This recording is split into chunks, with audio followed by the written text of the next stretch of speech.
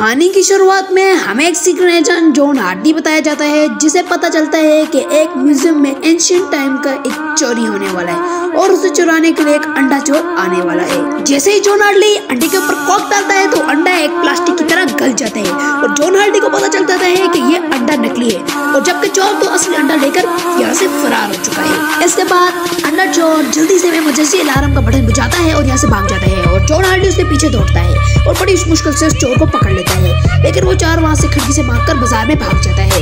उसके बाद हमें अगला सीन बताया जाता है, जहाँ वो चोर एक सीक्रेट आइलैंड में जाता है और जोन हार्डी अपने सीक्रेट एजेंट के साथ वहाँ पर चले जाते हैं और उस चोर को पकड़ लेते हैं और उससे अपना अंडा भी ले लेते हैं। अगर आप इस वीडियो को नेक्स्ट पार्ट चाहते हैं तो कमेंट कीजिए।